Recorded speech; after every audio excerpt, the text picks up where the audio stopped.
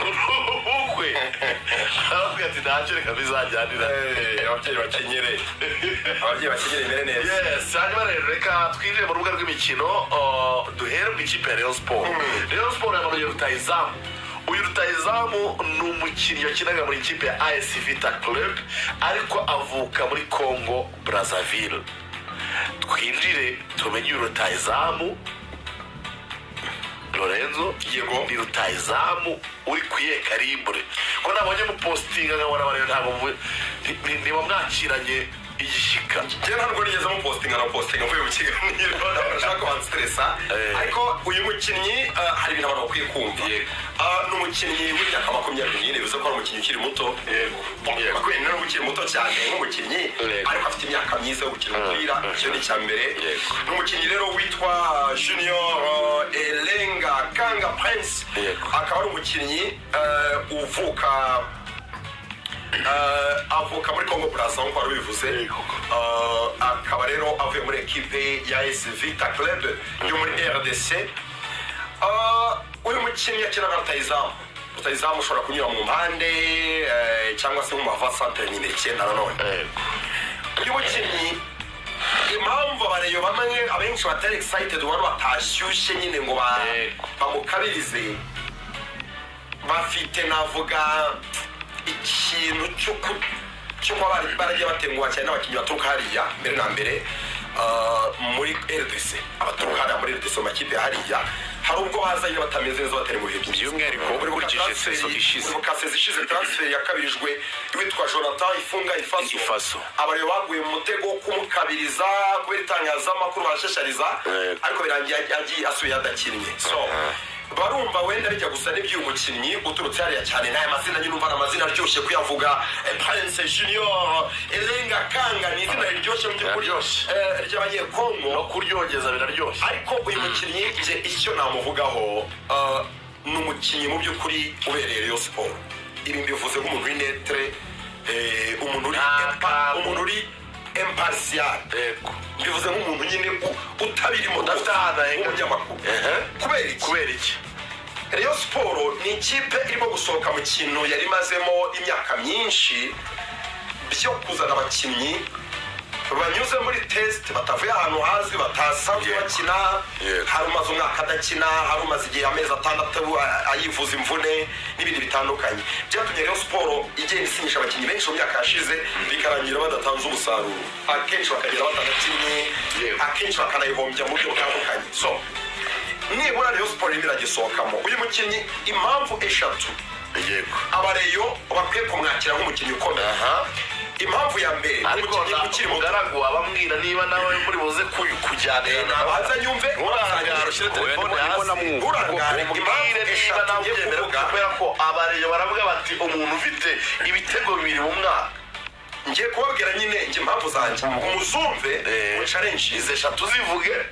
Muzishore no kuri youtube. Eh. muze mwumve impamvu eshatu abareba bagomba kwishimira rutayizamu basinyishije uvuye muri vita club. Turi kumwe kuko nkurikije nkurikije official communique.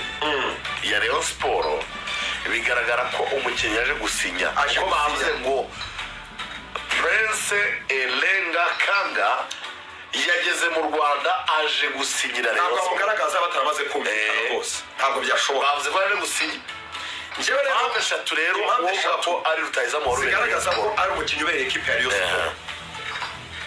Ikintu cya mbere umukinnyi ufite imyaka myiza yo gukina umupira. Burya baravuga ngo wenda abantu bo muri kongo abakongo buraza abakongo kinshasa ngo bagabanye imyaka cyane.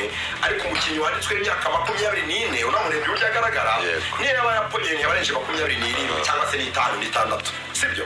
Byo niyo yaba yaraponyoye ntabwo yabarenje makumyabiri n'itandatu. Pe ibi byo rwose tubyumvikaneho so reka dufate makumyabiri n'ine ko niyo myaka iri ofisiye uyu mukinnyi afite imyaka myiza yo gukina umupira ni muto. Iyo ni impamvu ya mbere. Rayon siporo ntiyakunze kujya ibona abakinnyi b'abanyamahanga mu myaka yashize bato. Abenshi bari abakinnyi bakuze cyane.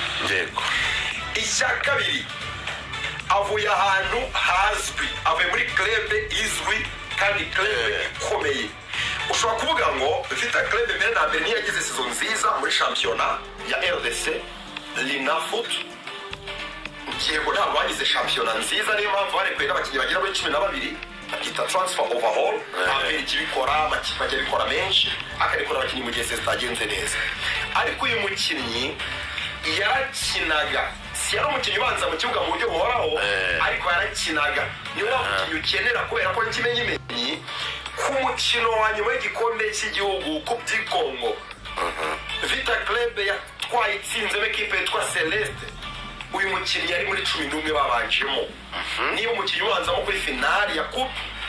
Muri iki gikombe cy'amahoro eh, polisi yatwaye itsinze bugesera murabyibuka?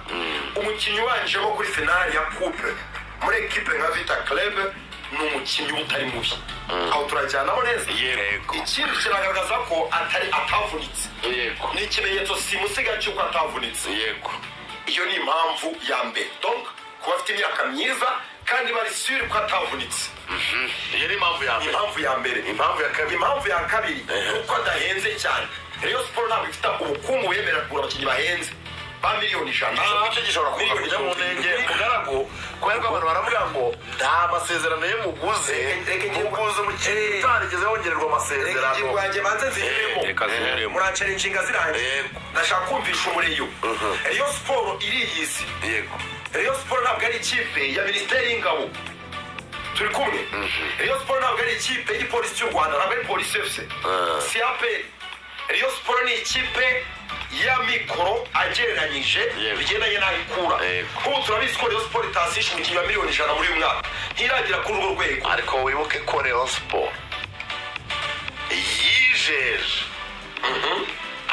abakunzi wanjye izasinyisha umukinnyi utari munsi ya miliyoni mirongo itanu z'amanyarwanda. Ibyo bintu ntabwo ari uyu.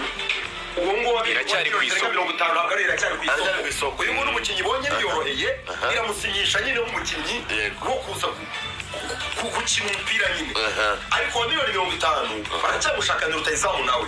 Rero siporo rigana yatubwiye ko izasinyisha abatayizamu babiri n'umuwinga umwe cyangwa babiri yego rutayizamu wa mbere nguyu. Aha. Turi kumwe. Uyu mukinnyi impamvu kuba rero Sport imwongeye ku mafaranga make impamvu ari byiza nuko rero siporo Sport nyine iriyizi ni ikipe idafite amikoro ahambaye cyane.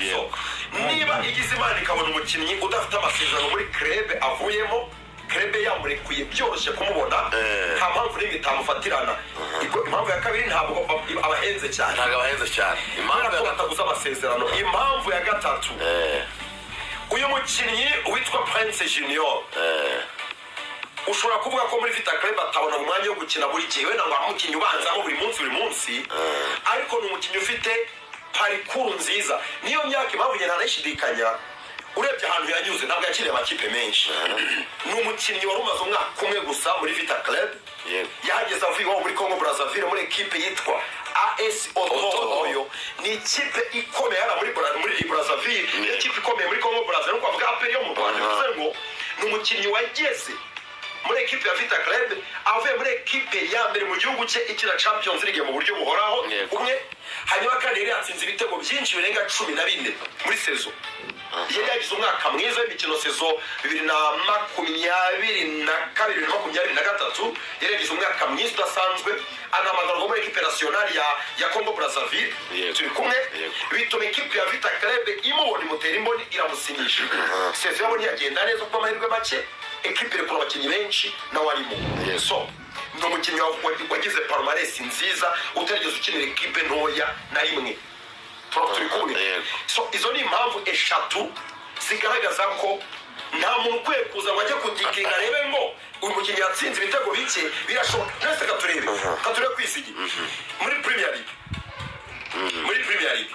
Hari abakinnyi tuba tuzi ko bakomeye pe. Kwanza turebe nko muri iyi ero oya reka tubanze Ture- turebe nko muri ero kanguha urugero rumwe eh, soza Ingingo kugira ngo nanjye- turebe nko muri ero Eh, Harry Kane ni rutayizamu ukomeye. Ah, yatsinze ibitego byinshi cyane i burayi. Haba muri champions league no muri shampiyona y'ubudage uyu Yego, mwaka cyane. aje muri ero atsinze igitego kimwe cyonyine. Ah. kiriya mbappe ni umwe mu rutayizamu bakomeye ku isi. Mbappe hari igitego atsinze muri ero uretse penalty. Nuko atari rutayizamu ukomeye hari ukuntu- yego hari ukuntu umukinnyi ashobora kugira umwaka mubi ntatsinda ibitego ariko tuzi neza ko umwaka wari wabanje yari yatsinze ibitego byinshi muri shampiyona y'iwabo ya kongo brazzaville. So ntabwo icyo kintu gikwiye kuba gufatwa nk'inenge ngo nta bitego yatsinze muri uyu mwaka. Ikomeye igira abakinnyi benshi bahanganira umwanya. Ntabwo yabonye umwanya wo gukina mu buryo buhoraho.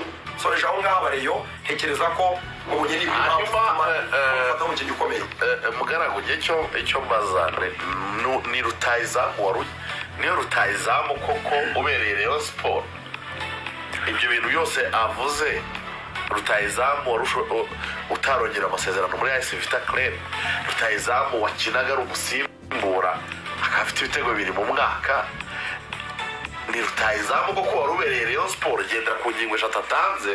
Wenda nawe tubwire uko ubyumva. Niba nawe mujya mu mujyi umwe na byo nta kibazo. Eh, ntawe ubwira ngo umwopoze niba wumva if there is no fact bo eh, jewe ntabwo ntabwo ntabwo ntabwo mubona nka nk'igisubizo cy'ibyo nk'ibyo Rayon Sport yashakaga. Eh. Eh, nka rutayizamu uh, kuko ikipe ya Rayon Sport mu mateka yayo yose yabayeho yabayeho. Ari ikipe buri gihe nibura uko igihe ibihe byose yabayemo byiza uretse eh, ibintu abako kuva inyuma yo kujya mu matsinda ya Confederation Cup isa naho yagiye mu bihe by'ibizazane byo kutagira stability ni ukuvuga ngo kutagira eh, guhama hamwe ngo ibe Rayon Sport kuko iryana. Yego. ariko mu bihe byose Rayon Sport yagiye ibaho byiza yagombaga kuba ifite rutayizamu uza kuza kuridinga Yego. abandi. So ni ukuvuga ngo impamvu uvuga ko atari rutayizamu urabanza ukareba eh, Lorenzo ya- ya- yakoze yakoze profile. Ariko profile ye ntabwo ari profile yo kuvuga ngo ese koko uyu ni rutayizamu ikipe igiye kuza kuryamo ikindi niba uje aje ari rutayizamu rutayizamu wizanye ko nuvuga ngo nta mafaranga ngo ikintu we ari bwumvikane Rayon Sport ni umushahara hama no kumuhereza ibintu birebana na na accommodation. Ni ukuvuga ngo inzu ndetse n'uburyo bwo kuza kubaho gusa. Nta mafaranga yani. Ni ukuvuga ngo eh, iki kintu bivuga ngo kugura kontara nta gihari. Icyo kintu cyonyine ubwacyo profile y'umuntu iroroshye. Uburyo ajemo nabwo aje ari free agent. Ukuvuga ngo ikipe itwaye igikombe cy'igihugu ibizasohokera Izahagarara, eh, DR. so ni ukuvuga ngo niba ari AS Vita Club kuko ni ikipe na yo ubwayo urwego rwayo rusa naho rwatangiye na- na yo muri iki gihe ntabwo ari ikipe navuga ko ima- im- i- i- iremereye kuko iri kongera bari kongera gukora bari muri transition kongera kugarura izina AS Vita Club ngo ryongere rigaruke ku gasongero. So niba utwaye igikombe cy'igihugu ukarekura abantu ni ngo kurekura umubare mwinshi ni uko ba- ba- bagiye muri viziyo nk'iyi aperi irimo ivuga ngo turashaka turashaka guhindura ikipe izina rikongera rikaremera. Kuko ubu ngubu nta mukino wo muri aka karere unavuga ko wa- wari wari ukifuza kuba yajya gukina muri AS Vita Club kuko n'izina ryamaze kumanuka. Uko kuntu rero ikipe izina ryama ryamanutse no gusezera abantu benshi ni uko bashaka kongera kurestoringa ni ukugarura izina rya AS Vita Club ku gasongero kubera ko nabonye ko eh, nabonye hari amafaranga yamaze yabonye n'abandi bafatanyabikorwa babiri bazatuma ibona amafaranga menshi yo kugura abakinnyi kugura intwaro imeze neza. Nibyo nanjye mu Eh, ngo eh. babonye amafaranga menshi ikipe arashaka kongera kugarura izina ryayo. Niyo mpamvu barekuye n'umubare mwinshi kugira ngo binjize andi Mm, mazina aremereye. Ariko abakinnyi cumi n'abiri bamaze kwinjizamo Exactly. abandi umunani. bizatuma ikipe ihagarara umunani barimo ruvumbu barimo bajire buri mwe Yego. abakinnyi bafite amazina pe exactly bazatuma ikipe yitwara neza muri CAF Confederation Cup muri sezo ya makumyabiri na kane makumyabiri na gatanu ah. so umukinnyi urekuwe n'iyo kipe igiye muri poroje kugira ngo ikomere. Icya mbere cyo biba bikwereka ko ikipe n'ubundi uretse ko no mu mikino ntiya ntiyanakinaga noneho nta nubwo afite porofili iremereye ngo ni umuntu nibura wakinnye mu makipe runaka.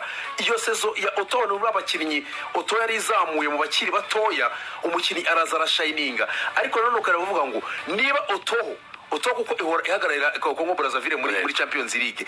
Nabwo umukinnyi atsinda ibyo bitego ikipe ikemera kumurekura. Ataravuga ngo wenda igiye kumuryamo amafaranga menshi kuko vita karibe imugura yamuguze amafaranga makeya. Ntabwo ruvuga ngo oto yari igiye kunguka muri muri muri muri prince eh, junior. Ntabwo ruvuga ngo ni umukinnyi tugize mwiza wenda tumubonyemo amafaranga menshi tugiye gutuma tugura abandi.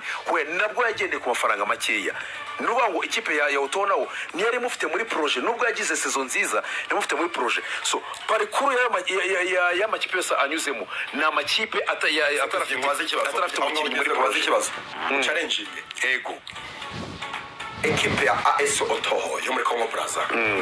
Meilleure ekipe hariya muri Ah, ni ikipe nziza. Kubera ko nta noze iramutse uyu munsi yafatagamo yego. Eh. uyu munsi iramutse ifite umukinnyi urumva? Uhamagarwa muri ekipe nationale ya Congo Brazza. Wakinnye umukino umwe. Uretse tuvuga uyu munsi ubwo gusubiza mu mwaka wa bibiri na makumyabiri na gatatu. Eh, yakiniye umukino umwe. Yego we wa nasiyonari yego isubira muri bibiri na makumyabiri na gatatu hari ikipe ya ayesi otoho ifite umukinnyi ni ekipi ya mbere hariya muri congo braza ifite umukinnyi ufite imyaka makumyabiri n'itatu ukiri muto urumva? Akoze sezo nziza atsinze ibitego cumi na bine muri shampiyona. Turi kumwe abonye korapu ya mbere muri ekipe y'igihugu ahise ahamagarwa dusubire muri uwo mwaka ubwo twegeye inyuma gato. Ukajya kumva ukumva ngo wenda tutavugana na Sport tuvuge na aperi ya mikoro. Ifite amikoro ahagije. Ukumva ngo aperi iri kumwifuza yamushyegeye uwo mukinnyi twavuga ko aperi iri kwifuza umukinnyi mubi. Dusubire inyuma. Twavuga ko aperi iri kwifuza umukinnyi mubi. Niyo kontekisite rero yego vita krebe yamuguzemo none kuko yasanze wenda kompetisiyo ntakine cyane agatsinda ibitego bibiri gusa. Ubwo tuvuge ko abaye mubi kubera ko yagize sezo atabonye imikino agatsinda ibitego bibiri byonyine. Subira muri sezo ye nziza nta mezi cumi n'abiri gusa. Urebe ibyo yakoraga icyo gihe. Turebe niba hari ekipe yo mu rwanda itamwifuza no muri icyo gihe yari mwiza. Kuko n'ikipe ya vita krebe ikomeye mu amakipe akomeye muri rdc yaramwifuje. Bisobanuye ko umukinnyi ashobora kugira sezo y'ibizaza akagera ahantu ntiyibonemo yego ntiyibone muri club mm, umutoza akamwicaza ku mpamvu utamenya uwo mukinnyi akaba yanapusa akavuga ngo hano si nkina nkeneye gusohoka nkabona ekipe nkinamo mu buryo buhoraho afite imyaka makumyabiri rero umukinnyi Eh, turi ku kintu cyavuga ngo ni rutayizamu akeneye icyo navugaga rero ni uvuga ngo iyo parikuru yiwe kuko ikindi ureza atavuze asatira aca ku ruhande Eh, ashobora guca ku ruhande ashobora kugera mu mavasantere rimwe na reba muri Urumva. wakinaga muri vita club akina nka rutayizamu ariko bakunda kumukinisha ku ruhande ni wa mukinnyi ni nka charles bale Eh, urumva eh. akina ku mpande mavasantere mavasantere ikindi Lorenzo atavuze mu byatumye muri Vita Kare bat- bitamugendekera neza imvune yagize akihagera. Kuko Lorenzo ntabwo yigeze zose zirangiye akina ego nyine ruvuga ngo Wameze neza. akihagera Yabanje kuvunika. eh, yabanje kuvunika. Ruvuga ngo rero iyo mvune kugaruka kongera kugaruka ku rwego n'ubundi ikipe yari yari yajeho arimo biragorana. Asanga hari abakinnyi urabona akenshi hari umukinnyi agira iki- ikibazo cy'imvune uwo mwanya wawe wagize ikibazo cy'imvune undi ugasanga yarakabye kugaruka Bikagorana. eh, bikagorana gufatisha. Ari na cyo gitumye n'uvuga sezo irangira arimo arakina akirimo arashaka kurwana no kugaruka. So ruvuga ngo icyo ni kubera rero muri Rayon Sport nabwo Rayon Sport ajemo araza gutangira kwiwe araza gutangira ku- kugira ngo arwane no kugaruka ku bihe. Ari- muri transition yo kuvuga ngo ni transition twakwita nka rehabilitation. No kugaruka no kugaruka no kugarura urwego rwiwe. niyo mpamvu nakubwira ngo rero niba uzanye rutayizamu ugiye kubanza kurwana no kugaruka no kugarura ibihe. Rayon Sport ikeneye rutayizamu uri mu bihe ukomerezaho uwo rutayizamu uje ujya kubanza kurwana kugaruka kuri bya bihe ntabwo rero rutayizamu Rayon Sport iza eh, escwa- eswadi Yeah. none njya gusoreza nkora nkora bavuga ko ntabwo nk'uko wambajije ntabwo ari rutayizamu uje guheka Sport Yego. ahubwo rutayizamu uje gufatanya n'abandi. Rayon Sport iraza gukenera undi rutayizamu uri ku rwego rwo hejuru uza kuza afatira akomereza aho yari ageze. Eh, uyu ni swadi Turi ntabwo ari rutayizamu rero abarezi bumve ko bakiri ku isoko bagomba gushaka undi rutayizamu Eh, hari n'abantu benshi bagiye bemera ingingo zose mwagiye muhayilayitinga hano Eh, ikintu kiriho gikomeye cyane ni uko umukinnyi wamugana aracyari muto afite eh, kuba yakongera akareransa kariyeri ikindi kandi uko afite na parikuru nziza. Hari i- iseve iraguherekeza lorenzo ni ni- ni seve iyo uvuye muri rb ukajya gusaba akazi ahandi hantu baravuga ati avuye mu kigo gikomeye. Eh, ba- ba- ba- bakwakirana imboga niyo mpamvu urabona abantu benshi bava hano bagiye nko gusaba akazi ahandi hantu muri za minisiteri bahita bakirwa cyane. kubera ko baba bazi nyine ko uvuye ahantu heza. Iyo ufite seve nziza iraguherekeza asito oto ni ikipe nziza iri ku rwego rwa rayon siporo na as vita club ni ikipe nziza itari ku rwego rwa rayon siporo ni ukuvuga rero kubona umukinnyi uvuye muri club iri hejuru y'iyanyu ntabwo ari bibi siporo atabonye umwanya wo gukina Yego. ukaba wamuzana ngo agaruke mu bihe bye byiza squad player ndabyumva Rayon Sport ishaka ko Sport iracyari ku icyo kintu cyo kuba noneho aza no kuza hari undi akaba hari gushaka undi rutayizamu biratuma barata- bita- igihe ikipe itamushyira kuri puresha Nta n'amakuru avuga gi- ngo yeka ikipe. Ni ukuvuga ngo hari abandi nawe arafatanya nabo. Icyo kintu cyo kuba habamo pasiyanse kumva usa n'uwihanganamo gatoya I- icyo kintu cyo koresitowaringa Cyane, unakurikije rega uretse na porofile avuze urebye n'igihagararo n'imiterere y'umubiri. Eh, bikwereka ko ni umukinnyi ushobora kuba yagira icyo aza gutanga aza gukora